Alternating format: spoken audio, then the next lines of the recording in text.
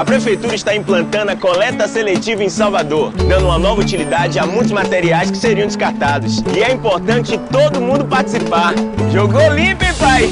Separe e limpe o material reciclável, como vidro, plástico, papel, metal. Depois é só depositar em um dos pontos de entrega espalhados pela cidade. Para saber os locais, baixe o aplicativo Coleta Seletiva Salvador no seu celular. Pronto, já baixei no seu, mãe.